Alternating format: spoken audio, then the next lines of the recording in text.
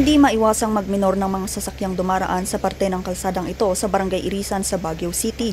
Ang kalsada kasi tila nahati sa dalawa dahil sa butas sa gitna nito. Madalas nga rin daw na may sumadsad na bumper ng sasakyan sa kalsada.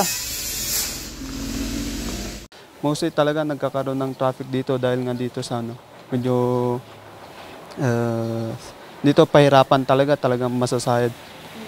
Talagang mag, ma, mamiminor talaga yung mga sasakyan.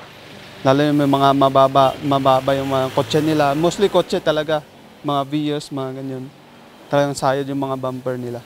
Kaya hiling ng mga residente at mga motorista matapos agad ang pagsasaayos nito bago pa man sumapit ang tag-ulan. Ayon sa barangay, ang nasabing proyekto ay parte ng pagsasaayos ng Baguio Water District ng kanilang linya ng tubig sa lugar.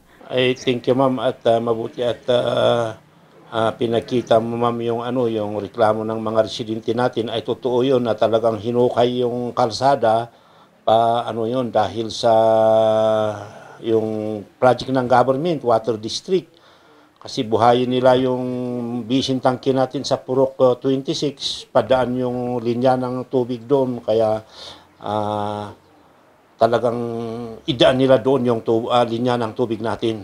Kaya naman muling magpapadala ng sulat ang barangay sa Baguio Water District para bantayan ang proyekto. Sabihin ko ulit doon sa kontraktor na talagang aayusin yon kasi talagang totoo na uh, apektado yung mga mali- lalo yung mga maliliit na sasakyan ay lalo pag maabutan ng tag-ulan yon siguradong madulas yun ma'am. Sinubukan ng news team na kuna ng panig ang Baguio Water District pero wala pa silang tugon tungkol dito. Vanessa Bugtong para sa Luzon Headlines.